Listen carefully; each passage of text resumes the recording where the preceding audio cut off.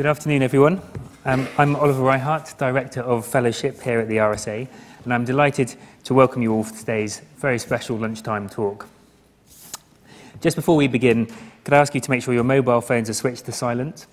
And also, we'll be filming today and live streaming over the web. So, welcome to all, all those who are watching online.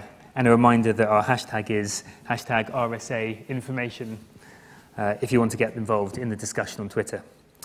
So now the housekeeping notices are over, I'm very, it's my great pleasure to introduce this afternoon's distinguished guest speaker, David Levitin. Is that right? Levitin? Um, Daniel, Daniel Levitin. Sorry, good start. As many of you will know well, Daniel is an award-winning scientist, musician, and author. He is professor of psychology and behavioral neuroscience at McGill University in Montreal, where he runs the laboratory, laboratory for music cognition, perception, and expertise. He is the author of three consecutive best-selling books.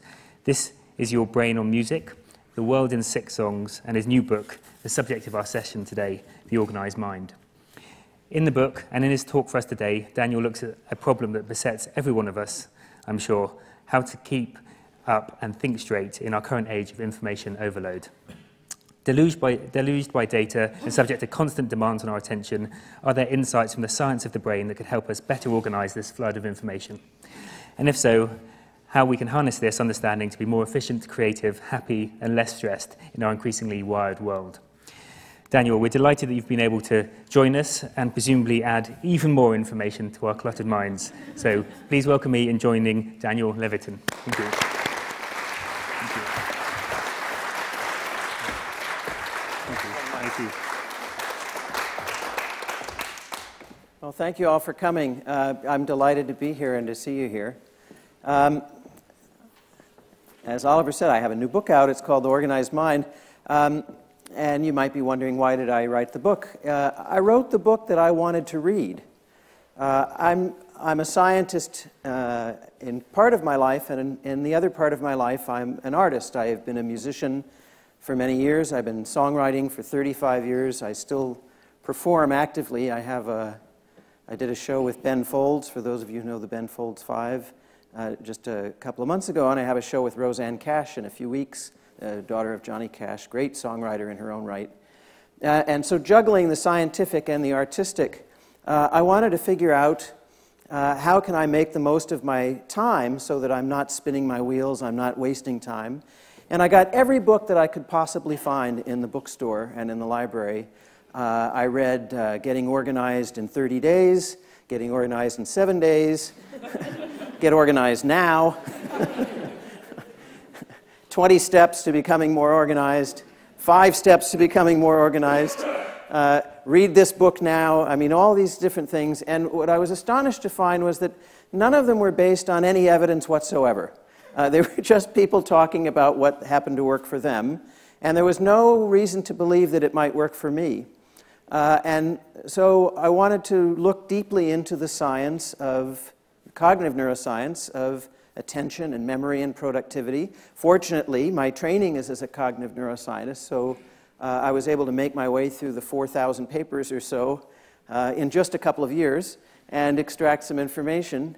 Um, and then I realized what was missing from what I wanted to read in a book was what people actually do not what science says you should do, although I, I think that's important, but what do people actually do, successful people?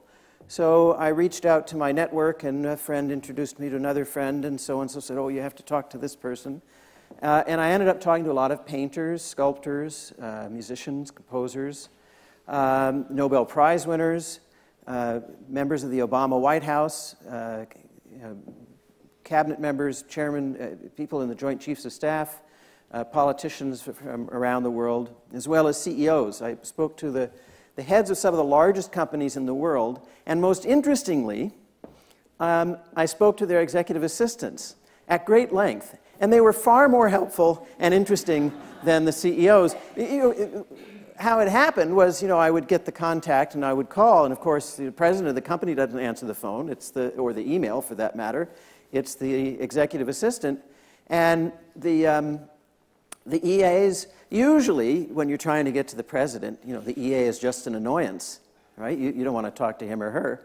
But in fact, for the kind of research I'm doing, that's exactly who I wanted to talk to.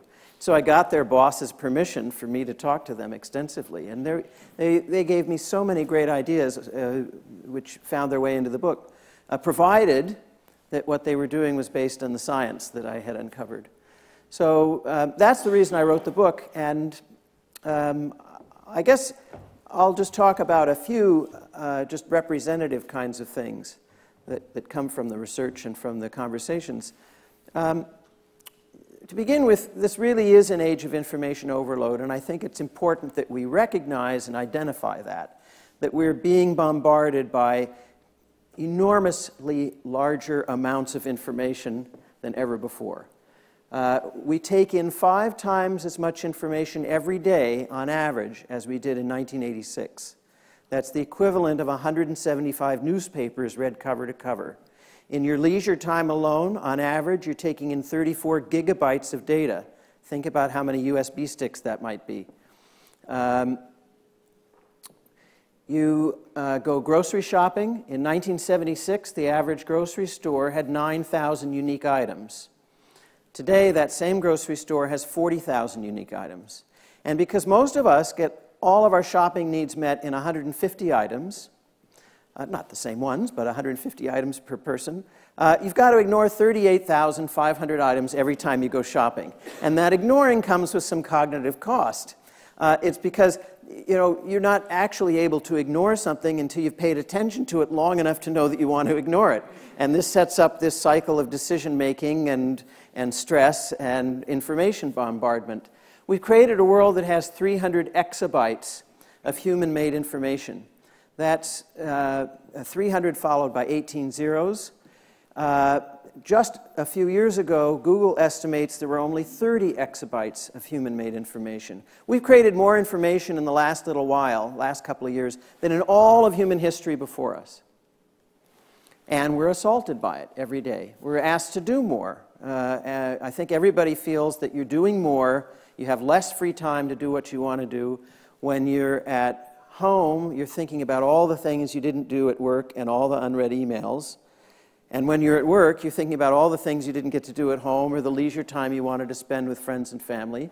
And you end up being in neither place fully. Your, your head is always partly somewhere else. And I think that's no way to live.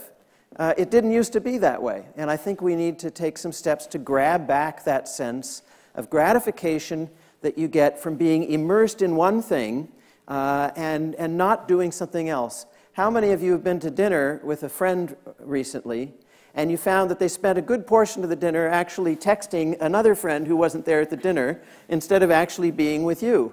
Or you're talking to somebody on the phone, and at some point you say, Are you doing email while you're talking to me? You can tell that their attention has, has lagged a little bit. And you know, usually they say no, and they're lying. Uh, or they'll sheepishly say yes, and then you'll get their attention for another minute or so until the email calls them back again. Um, what we're doing is multitasking, of course. And it's only in the last five years that neuroscientists have discovered that multitasking doesn't really exist. The brain simply doesn't work that way. Uh, what's actually happening is your brain is rapidly shifting its focus from one thing to the next. And because the neural switch operates so quickly, you don't really notice that you're shifting, and it gives you the illusion of doing a bunch of things at once. This is actually very much uh, related neurophysiologically to the principle of how motion pictures work. Uh, you know, movies, traditional movies, celluloid movies, are a bunch of still images, right? And we play those still images at 25 frames per second, which just slightly exceeds the capacity of neurons for temporal resolution. And so what happens is your brain is fooled into thinking that there's continuous motion, even though they're individual scenes, individual uh, cells in a, in a, in a movie, uh, individual slides, really. So um, we're shifting so rapidly that we feel as though everything is fluid uh, when in fact it's not. We're fractionating our attention into little itty bits. And all of that switching comes at a cost. And I know something about this because it was my laboratory that discovered the location of the switch, the neural switch that pushes you between activities. It's uh, in a structure called the insula, or if you put your hand at the top of your head, those of you who don't remember your introductory neuroanatomy, uh, put your hand on the top of your head, it's a couple of inches below the center there, and the insula is what's doing all the switching. The problem is, as you might imagine, uh, when you get a neural switch to switch, it uses up resources, neural resources that are in limited supply. If only these things existed in unlimited supply, there'd be no problem. But they don't. Every time you ask this switch to operate in the insula, you're using up the same neural resources that you would need to solve a problem uh, or to get the energy to stay focused on something, uh, to come up with a creative solution to something. Uh, same nutrients, same neural resources. You're using them to switch, switch, switch, switch, switch, switch, switch. Uh, what we find in workplace studies is that people who will actually focus on a task, uh, unitasking as opposed to multitasking, uh, at the end of the day, they feel like they got less done. But by every objective measure, they've been more productive. Their work has been regarded by others, often their superiors, uh, as of higher quality and, and possessing greater creativity. The multitasker thinks they're being really good at it, but they're not. It's one of many neural illusions. The brain is, is very good at self delusion, so much so that my colleague Mike Gazzaniga calls the entire left hemisphere the great confabulator. All it does is make stuff up. And he, He's shown this in many studies. He's the one who pioneered uh, the studies you may have read about with split brain patients, patients who had their brain cut in two after a surgical procedure that was necessary. And when you show something, a picture, a movie, an object to the right hemisphere, and you ask the left hemisphere what's there, it doesn't have access to what the right hemisphere sees, so it just makes stuff up. and you don't know that you're doing it. Uh, so uh, the left hemisphere is telling you you're a great multitasker. Don't believe it. Uh, so, unitasking, uh, immersing yourself in activities uh, for uh, 40 minutes or an hour, not a bad thing. Uh, I, I, happen to think that, you know, I, I can't imagine that, um, that Haydn or Shakespeare or Picasso were creating their great works by, by doing it for about a minute and then going to talk to somebody and coming back for a minute and then going to check whether there's something in the mail and then going for another minute. I mean, creativity just doesn't work that way. The way it does work, we do shift back and forth, uh, but we're shifting to another mode. There's a creative mode of the brain that was just discovered uh, about 12 years ago by my colleague Marcus Raichle. Uh, he uncovered an entirely unknown neural network. I mean, we've, we've known it, uh, you know that it exists when I describe it, you know it's psychological reality. We didn't know that it was actually a distinct neural network that you could see in a brain scan and identify reliably across people and across time. We call it the daydreaming mode.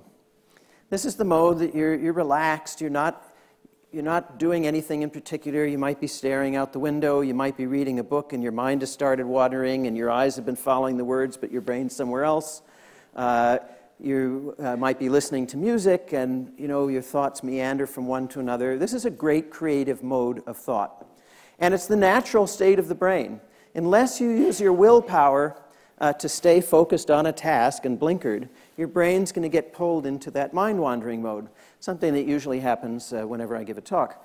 Uh, so, the mind wandering mode, so many of us fight against it because in this over caffeinated age, we feel as though if we were to stop working for just five minutes, we'd fall irretrievably behind. And so we go pedal to the metal all day long until nighttime, right before bed. We're working, checking email, checking text every possible minute and we never give our brain a chance to enter its natural state, which is the mind wandering mode. If you allow yourself to do that, you'll find it's tremendously restorative. It is the brain's natural state. So much so that Raichle, when he discovered it, called it the default mode of the brain. This is the part of the brain that is engaged in problem solving. You've all had the experience. I'm sure you were trying to figure out the solution to some problem. Uh, you can't figure it out, and so you you give up, you drop it. And then later, while you're shopping and trying to ignore 39,500 items, the solution comes to you just like that from out of nowhere. And in most cases, what's happened just before the solution came to you is that you were in the mind wandering mode, your thoughts were just sort of meandering. And the reason the solution came to you is that the mind wandering mode is making connections among things that you hadn't previously seen as connected, just like we do in the dream state. That's why we call it daydreaming. It's loosely connected thoughts, nonlinear, not directed. So, uh, it turns out, for reasons we don't fully understand, but there's a neurochemical story there involving dopamine and acetylcholine and some other important neurotransmitters. Getting into the mind wandering mode helps to push a kind of neural reset button in the brain. It replenishes your focused state, allows you to come back to work refreshed, uh, with often new insight, uh, and, and the restoration of, of the neurochemicals that have been depleted by staying on task and by constant switching uh, task to task to task to task. Uh, as a kind of rule of thumb, uh, daydreaming could be 15 minutes every two hours, not a bad idea. And in workplace studies, people who take these 15 minute breaks at the end of the day, uh, like the unitaskers, the data are parallel, the end of the day, they've gotten more done. They've more than compensated for the time they took off. Uh, they feel better. And uh, these breaks, uh, it could be a nap, actually. Uh, for those of you who can take naps during the middle of the day, a 15 minute nap, not longer, because that'll release neurochemicals that can make you groggy for hours later, but 15 minutes, 20 max, um, can be the equivalent of an hour and a half sleep the night before and uh, can be the equivalent of an extra uh, 10 points in IQ. 15 minute nap uh, during the day. And these breaks confer the same advantage. Um, of course, when you're, when you're engaged in an artistic activity, whether it's, it's visual art or, or writing, literature, poetry, music, the breaks come more often than you realize. The typical way somebody writes, for example, a novelist, uh, you're writing, writing, writing, writing, and then you stop and you, and you sort of look off the page and you're staring well, that's the mind wandering mode kicking in. And you might be off for five seconds thinking, what's going to happen next? What would my character do next, right? Uh, or uh, what's this other character going to do in response to what this character just said? You might be off for five seconds, you come back. Uh, is that right? Does that really fit? Well, you're off for 30 seconds, you come back, and there's this switching back and forth between the two modes. Um, it's not like task switching. It's not like you know, writing your novel, checking your email, writing your novel, checking your Twitter, writing your novel. Uh, uh, because remember, the mind wandering mode is restorative, it's not depleting. So each time you go into there, you're actually increasing your productivity. So these are just some of the ideas. As you can see, there's a little bit of practical, a little bit of neuroscience, some of the ideas that I discovered while trying to write the book that I wanted to read. Uh, and um, I'm going to end the sort of more formal part of our time together here and uh, invite you to, uh, to discuss with Oliver and I.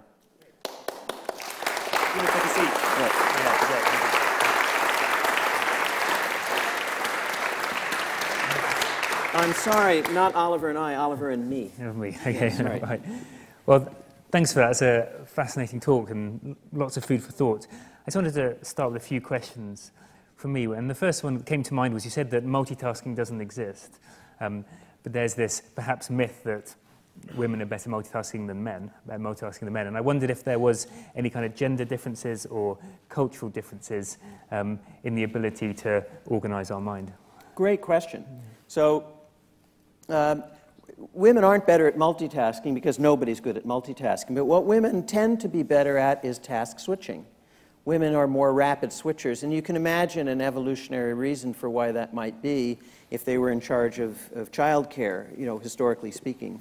So um, women have evolved neurochemical and neurophysiological ways to switch tasks uh, much more rapidly uh, than men. So, you know, professions for which women would be especially suited would be air traffic controller, uh, journalist, broadcast journalist, investigative journalist, publicist, uh, the, uh, simultaneous translator at the UN, things that require rapid shifting uh, that men simply aren't as good at. And it's no accident that most publicists that you find uh, across industries are women. Great. They're, they're better at it. And there's a scientific proof that that's Right. true. Um, yeah, the other thing I brought to mind was education, actually. And I remember sitting in a classroom where I'm supposed to be focused on one task for uh, 40 minutes and daydreaming for 38 of them. And, Sounds like my class. yeah. and I wondered whether there was any insights from what you discovered about how we should educate uh, people. Well, so I'm so glad you asked that. The, the model that we've had for a couple of thousand years, going back to the Greeks, of the sage on a stage imparting wisdom, um, it's, it's a failed model. It's not the way people learn. Uh, we now have data on this, and I have to apologize to you all for not practicing what I preach. I lectured at you for 20 minutes.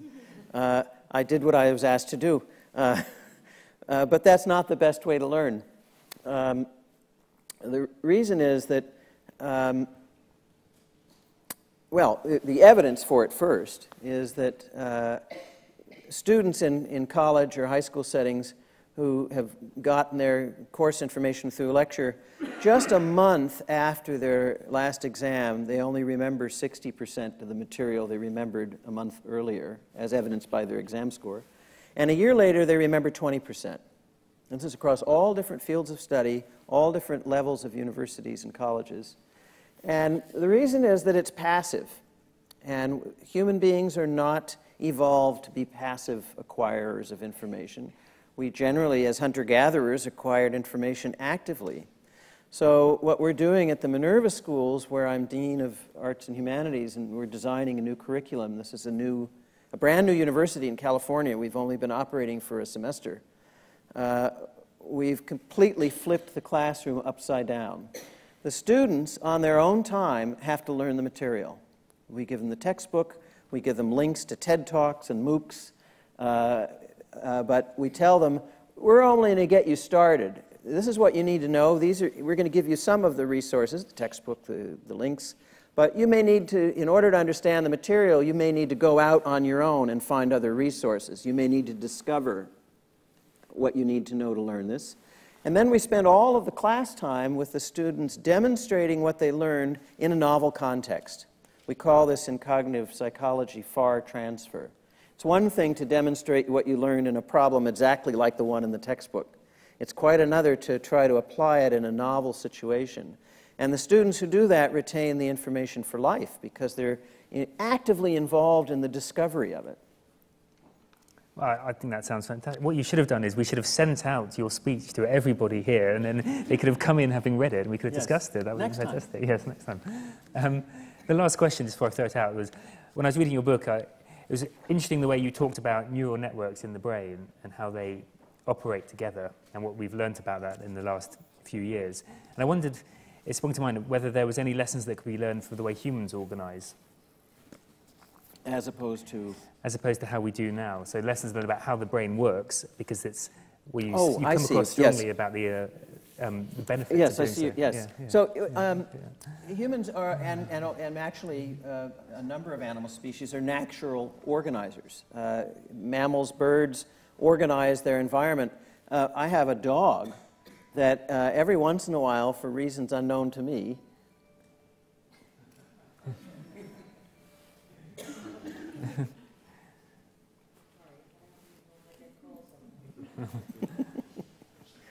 Uh, for reasons unknown to me, the dog wanders around the house and picks up his toys from different places and puts them in a basket where I keep them normally. The dog is tidying the environment. Uh, there are some uh, rodents uh, that uh, will set up a symmetrical pattern of rocks and pebbles and twigs around their hole in the ground. Why? Because if the symmetry is broken or the order is broken, they know there's been an intruder and they can be on the alert. So there's this propensity for organizing the world in certain ways that has evolutionary roots. What I find most fascinating about the neuroscience, uh, the architecture of, of categorization in humans, is that we can categorize things in an almost infinite number of ways. There's some categories we have to learn. We have to learn what a mammal is, right? It, we have to be taught a bat is a mammal, even though it doesn't resemble one. Uh, and then there are these other things that resemble mammals that aren't. And you know, we learn these rules. We learn that technically a cucumber and a tomato are a fruit because they have an interior seed. It's, you know, it's, it's not obvious. Um, there are other categories that we, we have intuitively and that our species has had for tens of thousands of years. Every human being intuitively understands that human versus non human is an important categorical distinction. Male versus female, we notice that around puberty, pre puberty. Uh, we have an intuitive sense about the difference between predators and prey, live and dead. These are natural categories. They might be hardwired in the brain, they might be part of our genetic endowment. But then, as I say, there are an infinite number of ways of dividing the world. Uh, suppose I ask you what the following things have in common uh, your cash, your, your, British pound notes, uh, your, um, your wallet, uh, your treasured family photographs, and your pet. What do they have in common? Uh, they're of value to me. They're of value to you. Yeah, yeah. Uh, now, that's probably those are four things that you may never have put together before, uh, and, and you've come up with a category: things I value. Can you think of another category that they that they all that you could describe? Things them? likely to be found in my house. Things likely to be found in your house. Anybody else got one? I'm trying active learning here. Same objects, different category. Ah, very nice. Your wife gave you all the money. very nice. I'd like to meet her. um, the, uh, and, what, and what about this? Things to take out of the apartment in a fire. As soon as you hear it, it makes perfect sense. It's the flexibility of our category system that's extraordinary. And it, we can leverage this, understanding how it works, to better organize our homes and our workplaces. And a prime example of that is um, the junk drawer, or at least that's what we call it in the US. I don't know what you call it here, but do you all have a drawer in your house where you just put any old thing? It's often in the kitchen, right? What do you call it? Yeah, junk drawer. Junk drawer. Uh, this is actually an interesting case of cognitive economy and a great demonstration of cognitive flexibility in categorization because you've got some little thing in your hand, and there's probably a perfect place for it somewhere in your house. But what you've decided is it's not worth trying to figure it out. You just throw it in the drawer and you know it's going to be there because your drawer has these kinds of random things. You don't obsess about it. You don't have to find the perfect little cubby hole uh, or, or section of your closet. It just goes in there uh, and, and you're done with it. That's, that's one of the interesting things. And, and, it, and it's a great thing to have. Yeah, yeah. The miscellaneous file in your filing cabinet, same idea. Yes, sure. Okay, great. Well, thank you. For, I'm going to open it up now. So, if, does anyone? Wow. Okay, there are a lot of questions. Um, so you might take three at once, and then you can choose the ones to answer. So uh, there's a microphone coming around. So if we could just wait for the microphone. If we start off in the middle at the back here. Then. Thank you. Uh, John Bailey, Diabetes Hub. Uh, when you were performing with the Ben Folds 5, uh, were you uh, thinking straight or were you into information overload? Okay. During most of his performances, there's a lot going on, some of it improvisatory. So, how does the brain deal with that, with improvising during a set structure? Well, every... I'll just take a few. I'll take oh, a few. Okay, okay. just because it's got I'd make down here at the front. These. Thank you very much. Uh, Alison Parry, I'm a fellow. Um, it, the, I wanted also to give you another name for a junk drawer, which was a glory hole. Um, so it doesn't have to be a junk drawer. Um, what I wanted to know was really about dyslexia, because you said uh, that you were now sending students out to read things and then to do things. As a dyslexic, the whole idea of reading things completely turns me off a subject. Also, with teaching, I had a history teacher who used to not allow us to take notes, and we weren't allowed to look at the clock because, as she said, Napoleon never clock watched. She also said to us, if you thinking about the next chapter when you're supposed to be reading this chapter, go to the next chapter and then come back. and one more, this gentleman here. Uh, Jeff Wolfing, I'm a fellow. Um, my question was around decision making. And in this world, especially at work where we have so much information, and you point out the volumes of information we're getting and the different policies on different things that we have to consider before making decisions, does any of your, have you got anything to say or to offer on to how to sort of cut through some of that and make, not get so swamped that you can't even make a decision on anything? Great. Well, three diverse questions then. Better decision making, dyslexia, and innovation within structure.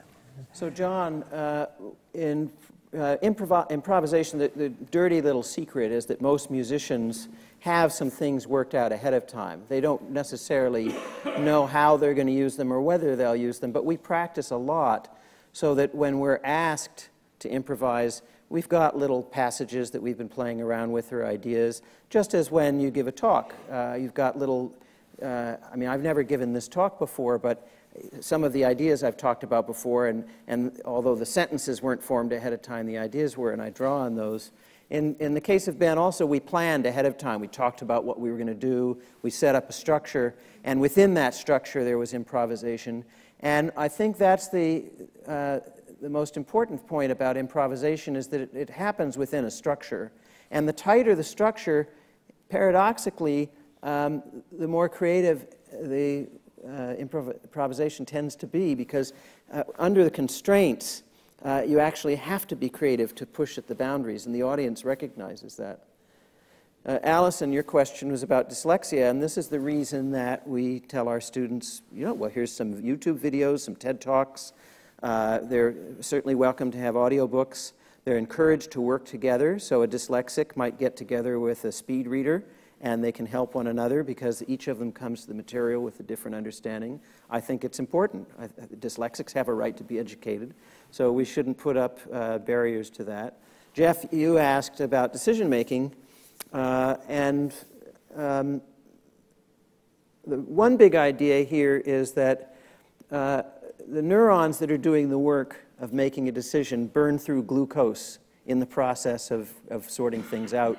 And unfortunately, it takes almost as much glucose uh, to make a trivial decision as a super important one. There's almost no difference. So if I ask you whether you want a piece of spearmint gum or peppermint gum, that decision process is going to use up as much energy as um, a friend of yours has just been diagnosed with cancer. Here are the outcomes for radiation. Here are the outcomes for surgery. You can see the five year outcomes, the 10 year outcomes, the risks which you're going to choose, uh, same amount of energy. So the, to give you a practical tip here, uh, the best strategy is to make your important decisions early in the day, prioritize them. Make the less important decisions later in the day because you're not uh, at your peak then. That's a good tip. Okay, if you come over this side. So, gentleman here. Yeah, my name is Keith Raffin. I, um, yesterday. Oh, I'm sorry, one other thing for Jeff, if, okay. if, if you don't mind. Uh, I worked through some examples in the book of something called Bayesian inferencing, uh, discovered by the Reverend Bayes, uh, British, uh, well, minister and statistician. And it's a very powerful technique for making um, more rational, evidence based decisions. Uh, it's visual, it's not particularly mathematical, uh, and any high school student can learn it in an hour. I, I work through several examples in the book, and I think if nothing else, uh, that's, that's uh, worth the price of the book. And if you don't agree, I'll give you your money back. yeah, I, am a great procrastinator and leave things to the last minute. Your name again? Uh, Keith Raffin. Keith.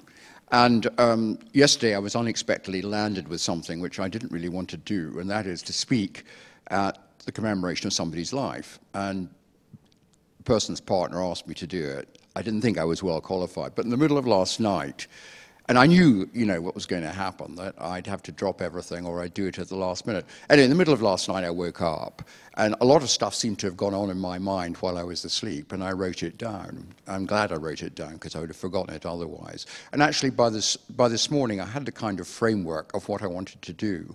That's one example. The second is this I find that I'm probably more creative when I'm out walking. I mean, probably because I have no distractions. But, you know, my mind is working there, and Maybe it's the same as sleep. I don't know whether there is a similarity or a connection. But, you know, I find that that I'm able to resolve things and perhaps also write things in my mind, speeches or whatever that I have to make. Is there a question in that, or is that observation? Okay. Um, oh, well, I could. We'll take three and then, because I think. Uh, uh, my name's Lee, interested civilian. Uh, my question is Is information addictive? And if so, kind of what impact does it have on the brain and mind, and how does it Thank affect us? Right, and then over here, um, at the end, third row back.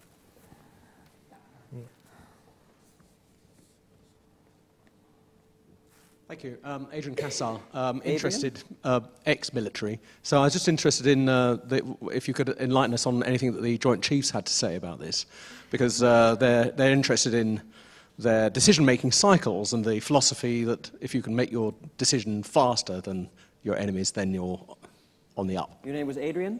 Yes. Um, so, uh, Keith, uh, there is a science of procrastination. I devote uh, good part of a chapter to it, to why we procrastinate and how to overcome it. Uh, we procrastinate for different reasons. One is that it's unpleasant. Uh, another is we don't know where to start. Uh, we haven't broken up into little bitty pieces. Uh, and there are some strategies for overcoming it. Uh, the, the big thing is that um, if it's unpleasant, uh, Mark Twain strategy, he called it eat the frog. Do the most unpleasant thing you have to do first thing in the morning, the rest of the day you're free. Um, the, uh, the point you made about walks has been well documented. We don't really understand why, but taking a walk engages this mind wandering mode, that default mode that I mentioned to you, especially a walk in nature. Uh, it's very restorative. Danny Kahneman, and my colleague that, who won the Nobel Prize and wrote the excellent book Thinking Fast and Slow, conducted most of the Nobel Prize winning research by, while taking walks. I mean, he conceived of it while taking walks. Uh, Lee, um, your question was about. Information addictive. Is information addictive? Yes, and it is. Um, the, uh, the reason is that we've evolved novelty detectors, uh, which makes perfect sense over evolutionary timescales. N- new information is usually helpful, but you know, thousands of years ago, uh, as we were evolving these novelty detectors, tens of thousands of years ago, there wasn't that much new. I mean, new things came along at a very slow pace. First, you know, we discover the wheel, and then 10,000 years go by and we discover fire, and it's another 10,000 years before we have language. I mean, you know, it's, a, it, it's not a, the kind of world we're talking about now. Um, the problem is that novelty triggers this evolved uh, dopamine uh, loop. You get a little shot of dopamine, the so called pleasure hormone, every time you encounter something new because it's adaptive to orient to something new. My colleague Peter Milner at McGill many years ago did an experiment where uh, rats were given the opportunity to self stimulate to produce dopamine. You may have read about this, it was a famous study in the 1950s. The rats press a bar, they get a little shot of dopamine. They press the bar again, a little more dopamine, right to the brain. Uh, and what he found was they pressed the bar over and over again to the exclusion of eating and drinking and sleeping and everything else, and they ended up dying.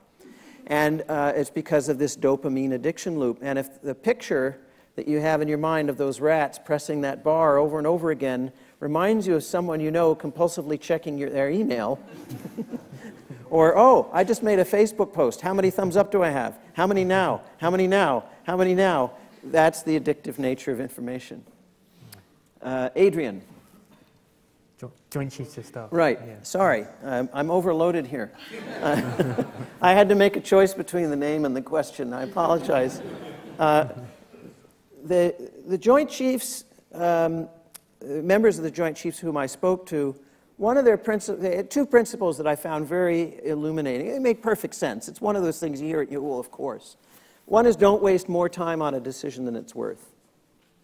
So, uh, I mean, we all do this anyway. When's the, how many of you have balanced your checkbook in the last month?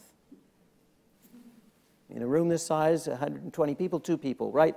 Most of us don't do it anymore. We used to, but now that there's computerized banking, uh, and it's not just a person, you know, sending you your statement, Uh, it, it's very unusual that there'd be an error of any consequence, and if it was a big error, you'd notice it in sort of your monthly total. You might glance at the monthly total, but you don't actually balance. Why? Because what are you going to do? You're going to find that you, the bank uh, is off by 29 cents, and it's going to take you an hour to discover that. It's not worth it. Uh, if you hear that there's a sale on something that you want to buy, and you have to cross London in order to save a pound, and it's going to take you two hours over and back, are you going to do it? Most people wouldn't. You, you don't spend more time on a decision or, or an operation than it's worth. Uh, the other thing is, uh, they talked about, I got this from um, General McChrystal, who was the head of the Joint Operations Forces.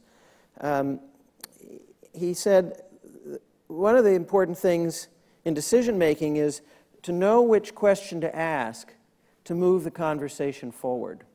And he wasn't always very good at this, but by being around people who were, he learned to do this, uh, to think of which question uh, will actually uh, provide you the information you need. And he gave me an example that I have right here, uh, I believe.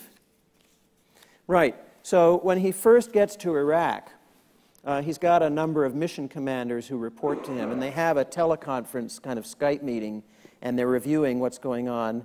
And what he wants to know is for each sector, you know, there's 30 different mission com commanders around Iraq. For each sector, uh, one of the questions he had for them was, what intelligence sources do you have on the ground? In other words, what local Iraqis uh, do you have who can provide information to you that we're not able to get on our own? And one mission commander uh, boasted that he had 250 local sources. Uh, far and away, you know, more than any other mission commander. Well, this, this impressed McChrystal. And so uh, he's thinking, this guy really, we have to learn what he's done and replicate that all over the rest of the country uh, for the duration of the conflict. Um, so this guy had recruited 250 Iraqi citizens to pass information on to U.S. forces. Uh, now, McChrystal's intelligence officer, from whom he learned a lot about what question to ask, his intelligence officer at the time, Mike Flynn, asked a simple but important question that really moved this whole thing forward. Flynn says, uh, Colonel Flynn, uh, to this mission commander, describe your best source. Now he whispers, whispers to McChrystal, I'm assuming that the other one, you know, 249 are not as good as the best one. So let's, let's figure out how good the best one is. Well, after a series of questions and answers and conversation that unfolded over the next 10 minutes, turned out the best source isn't any good at all. not reliable, doesn't show up to appointments, about half the information doesn't check out. So you realize you got nothing, right? Uh, asking the question that moves things forward uh, is a great strategy for making better decisions. Yeah. And you have to practice to do this. Over this side then, um, at the back there. Yeah, thanks. This follows on from. Hello, I'm Phil Harding. I'm a journalist, although I'm unfortunately a male journalist. Um, this follows on from what you said they about the. They do have operations, I understand. I mean, depending on how ambitious you are in your profession. I'm looking into it. It's, it's, it's, I'm working on it. This, this question follows on. I don't know if the government health plan covers these. We've got a doctor here, though, I think. Uh, I'm sorry. The, the, the, this question, operation or not, this question follows on from what you were saying about the rats and dopamine. Um, we, we appear to be becoming addicted to our tablets, to our mobile phones, and so on and so forth. Um, if what you're describing really is an addiction, that then becomes, as you said, highly destructive. Is the logic of what you're saying that we're going to have to rethink the world of work and indeed the way that we are conducting our lives at the moment? Thank you. Um, just behind Hi, uh, Nico MacDonald. I'm a fellow. Um, I'm going to follow up and slightly contradict my colleague Phil's question there, because I think you're in danger of medicalizing social phenomena. Uh, when the term addiction is used, uh, so promiscuously these days, as is the term promiscuous, I guess, uh, we've got to worry a bit about whether social phenomena are being misunderstood. I think the idea of uh, novelty detection that you referred to earlier on is an example of this. Now, actually, we've had access to more information than we can deal with or use for most of the modern era. You know, I could have gone to the British Library 150 years ago and been overwhelmed or overloaded by your information. Um, the reality is, and we've actually been talking about this for quite a long time. Richard Saul wrote Information Anxiety 20 years ago now. And my challenge to you is actually, it's not information overload as much as what I would call paradigm underload, in the sense that we don't know where to focus our research into information and we don't know how to contextualize it and give it meaning. And that's very evident in our society where there are no grand narratives, as the French theorists used to call them. There are no big ideas which help people to, you know, understand society. And thus, everything seems to have equal meaning and importance, and thus no importance. So I'm not so sure it's a, a phenomenon that's, you know, a, you know, the age of information. It's a phenomenon of the age of lack of paradigms. That would be my challenge to you. Thank you. And then lastly, uh, over in the corner, woman in green. Vali Lagliotti, fellow. Uh, I'd like to ask what is the equivalent of uh, daydreaming for teams? So for people teams. together, working Great. together. Thank you very much.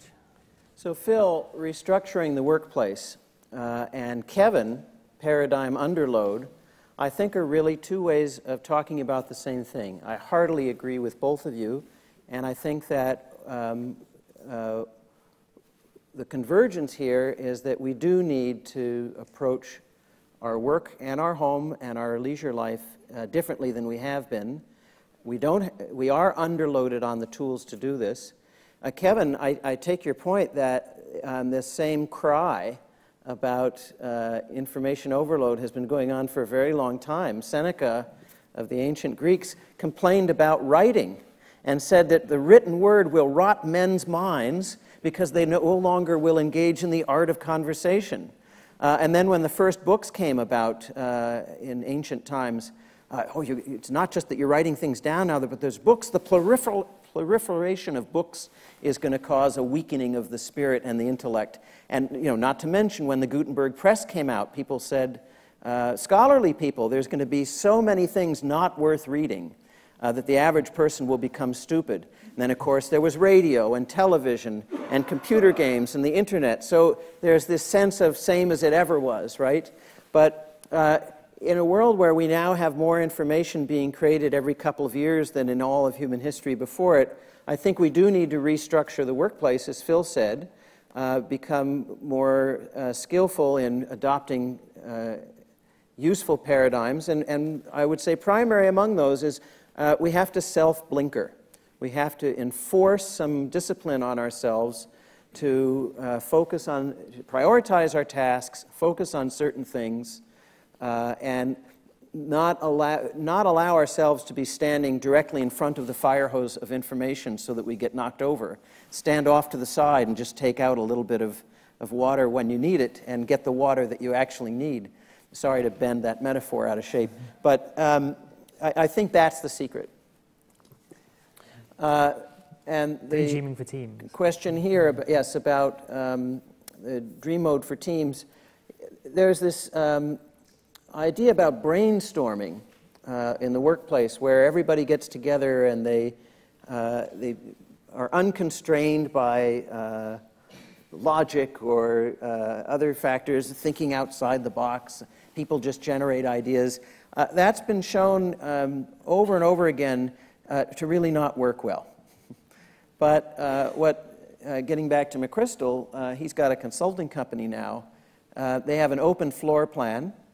They, and this works very well for startup companies, consulting companies, media organizations where people need to exchange and share information with one another in real time, the newsroom being a classic example. Um, it's not so much that you're daydreaming together, but you're exchanging information. Uh, and sure, I guess there's some value in a team having a quiet moment where everybody can reflect and then exchange ideas again. But um, the important thing is to recognize that this kind of unconstrained brainstorming uh, often leads to a lot of useless ideas. What's better is if each person comes up with some ideas on their own, tests them out for whether they're plausible before blurting them out, uh, which is what brainstorming is, and then, and then exchange. Great. And time for just a few more questions. So, we down here.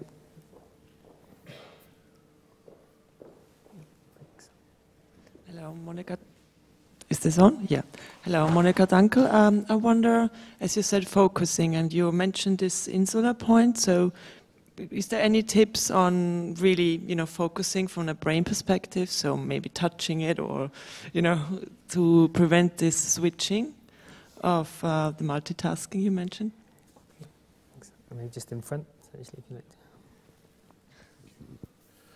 David Wood, London Futurist. The advice you've given today has been based on recent uh, brain research or our current knowledge about the brain. But are there new things that you expect we should be finding out about the brain, which would, uh, once we do discover them, would uh, change our best ideas now to cope with information? So, in other words, what is the research areas that you are asking your team to look into as regards how the brain is doing things we currently don't understand? And then actually down the front, lady and.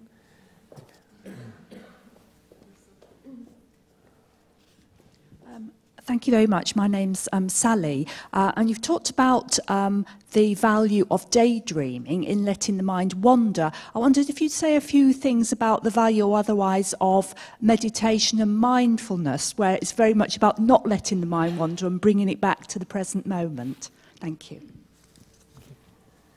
So, uh, being able to maintain concentration um, and, and keep that switch in one position, I think the best strategy is to um, practice what David Allen, the efficiency guru, calls the mind clearing exercise. Uh, once or twice a day, uh, write down everything that's in your head. Get all that chatter out there. Oh, I have to pick up milk on the way home. I promised Aunt Tilly I'd call her back. Uh, I've got to do this, I've got to do that. Just write it all down, get it out of your head. Then, when you're trying to focus, you'll find you're less distracted. Also, if you can, turn off your email for an hour. Um, the composers that I know, the writers that I know, Jonathan Franzen said, no novelist is going to write a good novel while, while, they even have an internet connection. Uh, it's just impossible because of the distraction. David, you asked about the work that's going on that I think is most important. Uh, there's an effort called the Connectome Project to try and understand uh, how uh, knowledge is encapsulated in the connections of the brain.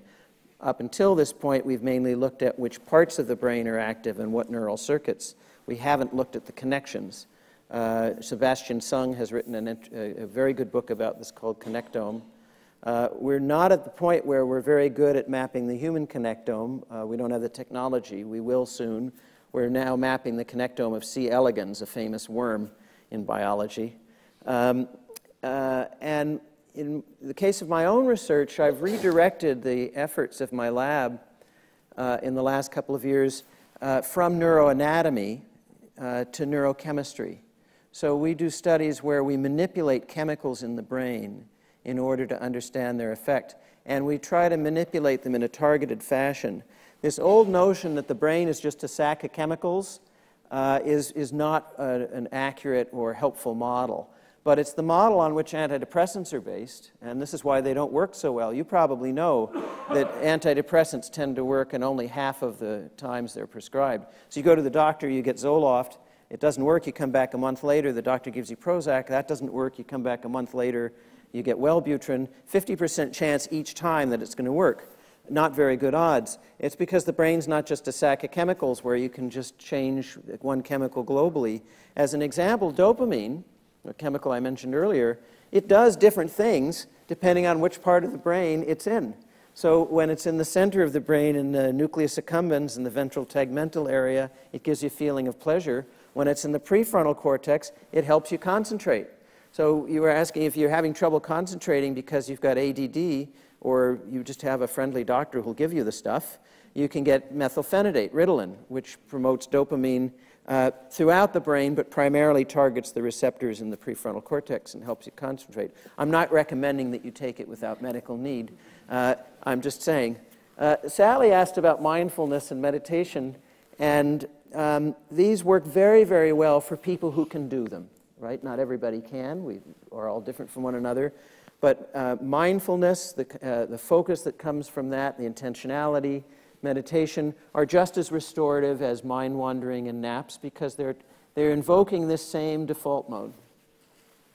Brilliant. Well, I'm afraid that's all the time we, we have today. I know there's a lot of people wanting to ask questions, but we didn't get round to it. Um, so your book, The Organised Mind, I think it's available outside. I think you'll be signing copies. It's, it's a good read. It's a good read of science and practical tips. I really enjoyed it. Thank you. Um, but just say, so finally, to everyone, please uh, join me in thanking once again uh, Daniel Levitin.